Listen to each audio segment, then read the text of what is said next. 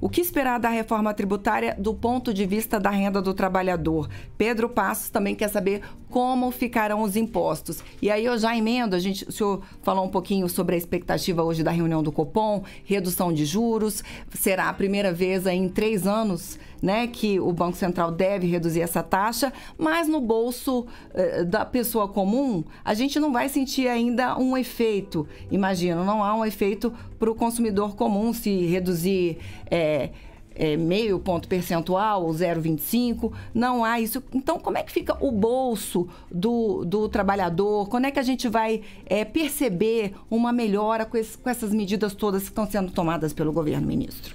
Olha, nós estamos vivendo há, há pouco tempo no, no, Brasil um surto inflacionário. Né? A inflação chegou a dois dígitos. Depois de muitos anos controlada, a inflação passou de 10%. É, quem me ouve é, há de lembrar como chegou a ficar o preço dos combustíveis, o preço da carne. O preço de combustível chegou a 7, 8 reais. Preço da carne impraticável, ninguém conseguia mais fazer mercado. E houve um esforço monumental do governo em dar um freio de arrumação nisso, para que os preços parassem de subir, em primeiro lugar, e, e em alguns casos começasse a cair. Não é uma, uma coisa simples de ser feita, mas o fato é que a inflação que estava em mais de 10% há pouco tempo atrás, hoje está na casa de 3,2%. Então você vê que o esforço que foi feito no sentido de trazer a inflação para baixo surtiu efeito. É, nós demos um choque de credibilidade no país, porque a coisa estava completamente desgovernada. O governo anterior, sobretudo em 2022, durante a eleição, começou a gastar um dinheiro a rodo para ver se revertia o desfavoritismo eleitoral é, foram mais de 300 bilhões de reais é, de dinheiro público investidos na eleição de 2022 para garantir a vitória do governo e nem isso foi capaz de garantir essa vitória. Só que isso aí deixou um rombo orçamentário que está sendo administrado. Então nós temos que ter, tivemos que tomar medidas duras do ponto de vista fiscal para trazer o chamado déficit público né, para um patamar cada vez menor né? mirando o equilíbrio das contas públicas. O que, que aconteceu com esse choque de credibilidade? O dólar, que chegou a frequentar ali o patamar de R$ reais durante o governo anterior, chegou a 5,86, o pico do dólar. Hoje está a 4,73, 4,74, 4,75, não está passando de 4,80. Isso deu uma vantagem muito grande para o Brasil. Porque quando você traz o câmbio para uma normalidade, né, ele está completamente fora da normalidade, você traz o câmbio para um patamar normal, você tem impacto sobre o preço. Só para você ter uma ideia, o IGPM, que regula os aluguéis no Brasil, a maioria dos aluguéis, ele está tendo deflação no Brasil esse ano. E uma deflação forte. Vai fechar o ano é, com, com taxas negativas. Então, tudo isso permite melhorar um pouco a condição. Agora, nós agora temos, estamos num dia meio decisivo, porque tem gente do mercado, não estou falando de política, não, estou falando de mercado.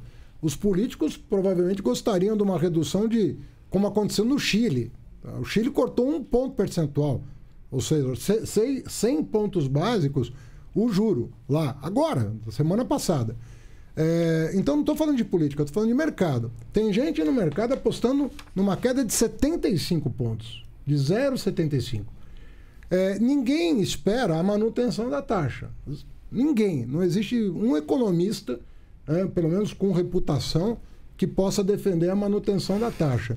E eu penso que o mercado, né, pela, pelas entregas que foram feitas, e quando eu falo de entrega, eu não estou falando só do governo. Hum. Eu sempre faço questão de frisar o trabalho que o Supremo Tribunal Federal, Superior Tribunal de Justiça, Câmara dos Deputados, Senado Federal estão fazendo para arrumar a bagunça herdada. Está todo mundo trabalhando na mesma direção para arrumar a casa. E ao arrumar a casa e tendo esses benefícios, queda da inflação, é, queda do dólar, né? tudo isso aponta numa direção técnica de um corte mais consistente. Então, o, hoje o mercado está pendendo mais para meio do que para qualquer outro número. Lembrando que tem gente do mercado, gente que está lá operando fundos bilionários apostando inclusive num corte de 75 pontos. Ou seja, eu penso que as perspe eh, perspectivas são muito boas, não por não é por outra razão que não seja o retorno para a sociedade do esforço que a sociedade, por meio dos seus representantes, já fez nos primeiros seis meses desse ano. Imagina a quantidade de leis que foram aprovadas nos primeiros seis meses que fizeram com que nada menos do que quatro agências de rating, aquelas que dão nota para um país do ponto de vista econômico, revisassem a sua nota apenas no primeiro semestre, sendo que uma delas chegou a mudar a nota do Brasil, aproximando o Brasil é, daquilo que é almejado pelo país, que é ter grau de investimento. E nós temos toda a condição, com a parceria com o Banco Central, a partir de agora, da gente ter um horizonte de reformas no segundo semestre, orçamento, é, revisão de, de isenções fiscais, desonerações fiscais para uma camada de 0,1% da população, revisão disso tudo, dos benefícios que não tem retorno social, para ter um orçamento equilibrado ano que vem e projetar um crescimento sustentável do ponto de vista social, do ponto de vista fiscal e também do ponto de vista ambiental.